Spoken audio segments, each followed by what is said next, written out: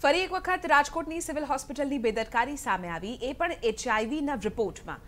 શહેરના રેલનગરમાં રહેતા યુવકને ચાર વર્ષ પહેલા એચઆઈવીનો પોઝિટિવ રિપોર્ટ હતો. બાદમાં ફરી સિવિલ હોસ્પિટલમાં રિપોર્ટ કરાવતા તે નેગેટિવ આવ્યો. જોકે પરિવારજનોને શંકા જતા ખાનગી હોસ્પિટલમાં રિપોર્ટ કરાવતા ત્યાં પોઝિટિવ આવ્યો. બેદરકાર સિવિલ હોસ્પિટલમાં દર્દીના સેમ્પલ્સ બદલાઈ ગયા હોવાની શંકા છે.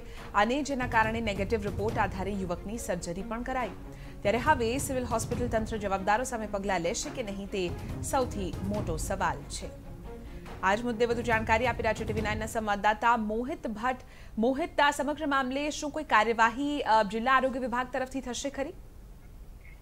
ચિત્રા, હજુ સુધી આ અંગે કોઈ પણ પ્રકારની કાર્યવાહી જે મેડિકલ સુપ્રિન્ટેન્ડન્ટ છે તેમના દ્વારા કરવામાં આવી નથી, પરંતુ ગંભીર પ્રકારની બેદરકારી છે તે સામે આવી છે. રાજકોટના મેમનગર વિસ્તારમાં રહેતા એક યુવકનો રિપોર્ટ પોઝિટિવ હોવા છતાં તેમનો રિપોર્ટ નેગેટિવ આવ્યો અને એટલું જ નહીં, સૌથી વધુ ગંભીર બાબત તો એ છે કે એ રિપોર્ટ નેગેટિવ દર્શાવ્યા બાદ તેના આધારે સર્જરી પણ કરી લેવામાં આવી. જોકે ત્યારબાદ પરિવારજનોને શંકા જતા તેમના દ્વારા ખાનગી લેબોરેટરીમાં રિપોર્ટ કરવામાં આવ્યો, જ્યાં તેનો જે યુવક છે તેનો રિપોર્ટ પોઝિટિવ આવ્યો હતો.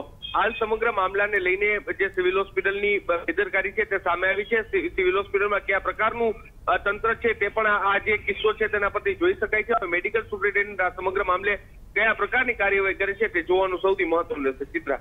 આભાર. મોહિત સમગ્ર મામલે જાણકારી આપવા બદલ તો સિવિલ હોસ્પિટલમાં ફરી રિપોર્ટ કરાવતા નેગેટિવ આવ્યો હતો. પહેલા પોઝિટિવ ત્યારબાદ નેગેટિવ અને જે રીતે આ સમગ્ર મામલો હવે સામે આવ્યો છે, સુપ્રિન્ટેન્ડન્ટ શું કાર્યવાહી કરે છે તેના ઉપર સૌની નજર. તો આપણે જણાવી દઈએ કે આજે સમગ્ર મામલો સામે આવ્યો છે. ગંભીર બેદરકારી સામે આવી જ્યારે એક યુવક અહીં પહોંચ્યો ત્યારે તેણે રિપોર્ટ કઢાવ્યો હતો જે પોઝિટિવ આવ્યો. જે બાદ ફરી રિપોર્ટ કઢાવતા તે નેગેટિવ આવ્યો હતો, જેને લઈને આ વિવાદ સર્જાયો છે.